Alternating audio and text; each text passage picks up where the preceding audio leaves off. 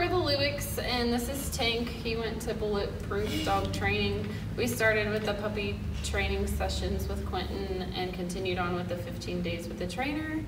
Um, we totally noticed a difference in Tank. He's calmed down, he's actually listening.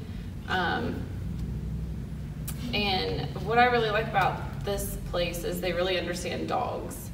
And they've it's more about training the humans that are dealing with dogs. Um, and Quentin's been great about teaching us and our three girls even how to interact with Tank so that we understand him better, that it's not always his fault, it's mostly our fault.